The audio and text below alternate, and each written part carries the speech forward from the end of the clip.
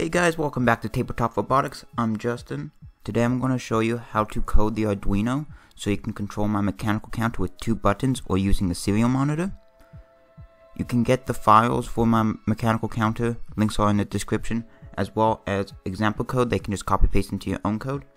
So we're going to be using the Arduino Uno to control my mechanical counter, as well we're going to be using a 28B YJ-48 5 volt stepper motor. Now after that, we can just get started. So here we have the Arduino IDE open. The first thing we're going to do is import the stepper library. And then we're going to set up the stepper motor. So you're going to call the library and then identify the motor. So we're just going to call it my stepper. Now, in the brackets, you're going to need five numbers. The first number is going to be how many steps for one full rotation. For my stepper motor is going to be 2048. Then the next four values is going to be the pins the stepper motor is connected to. So for mine it's going to be 5, 6, 7, and 8. Then you're going to need to set up two variables. You're going to need one for the current number. And this is going to be the number that is currently being shown by the mechanical counter. You're going to be, need another variable, new number. And this is the number the mechanical counter should be. For void setup, we don't need anything since we set up the stepper motor up here. Now in void loop, we're going to set up the main program. So we're going to set the stepper motor to 15 RPM. Now we're going to set up code so that wherever the new number is, the current number is going to go up to it. So if the new number is greater than the current number, the current number is going to move up by one. But if the new number is less than the current number, going to move down by one. So we're going to do an if current number is less than new number. We're going to turn the stepper motor one tenth a full rotation. And then we're going to add one to the current number variable.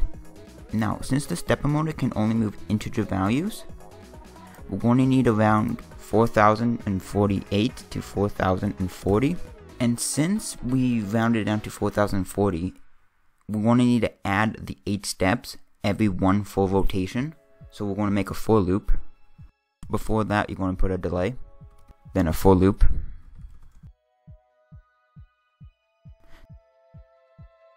Now how this for loop is going to work is that every time the current number is equal to a multiple of 10, it's going to add 8 steps. So every one full rotation is going to add 8 steps. And then after that, you want to copy this piece of code and paste it right underneath and change it so that if the current number is greater than the new number, it's going to move backwards. It's not 4000, so it's 2000. So you're just going to make 2040 to negative 2040 and make 8 to negative 8. And that's all you need to do to change it so it moves backwards and that's the main part of the code. So how this code is going to work is that you're going to put your main code in this section right here and all the main code needs to do is change the new number and that can and that will change the current number and rotate the number wheels. Just a reminder, this code is in the description below so you can just copy and paste it into your own code. Now if you want to control the mechanical counter with two buttons, it's very simple.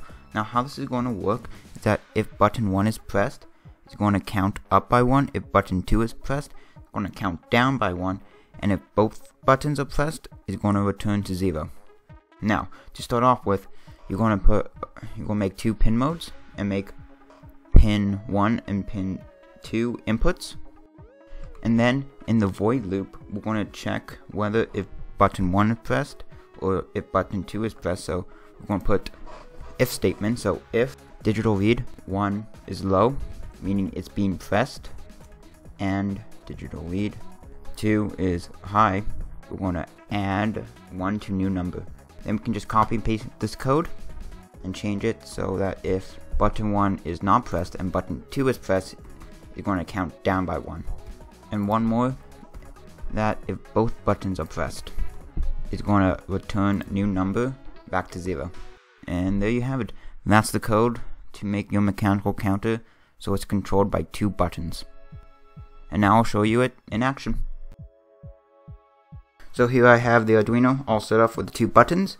As you can see, if I press button 1, it counts up by 1. And if I press button 2, it counts down by 1. And if I just hold button 1, it, count, it continuously counts up. And if I hold both buttons, it goes back to 0.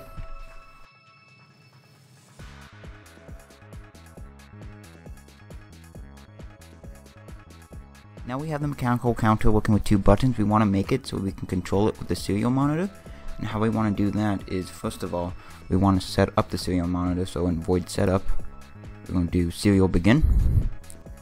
So next in void loop, we want to make it so that the new number variable is equal to the number we enter in the serial monitor. So how we want to do that is if serial available is greater than 1, new number is equal to the number that we enter. And then we're just going to print everything. So we're just going to print the current number, then print the new number. And then we're just going to set serial timeout in the beginning to 0. So there you have it. So now if you set a number in the serial monitor, the mechanical counter will also go to that number. So here I have it set up for the serial monitor. I can type in a number into the serial monitor and it should go to it. So if I press a 9, it will go up to 9 then stop. If I press in, let's say, if I press in 3, it should go to 3. Pressing something high like 50, it'll go up to 50. And just go up to 999.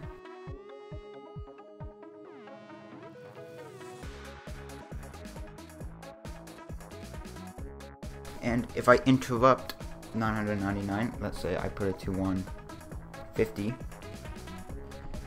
it will stop at 150 instead.